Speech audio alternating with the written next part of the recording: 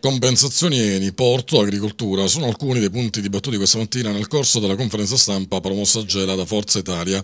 Presente anche il deputato regionale Pino Federico, il consigliere comunale Salvatore Scerra. Abbiamo dato delle due priorità e sono il porto e l'agricoltura.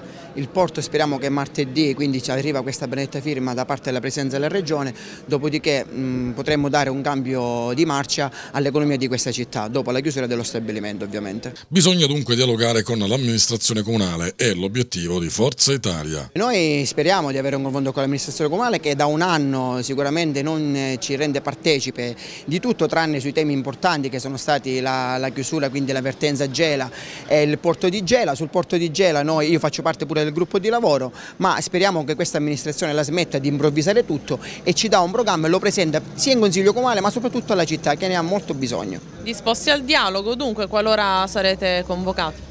ma noi siamo disposti al dialogo per il bene della città, ma eh, vorremmo capire come loro si vogliono muovere e so soprattutto in che direzione vogliono andare. Il consigliere comunale Crocifisso Napolitano. E noi vogliamo valorizzare anche con questi 32 milioni di euro dell'Eroides anche le, città, cioè le, le, periferie.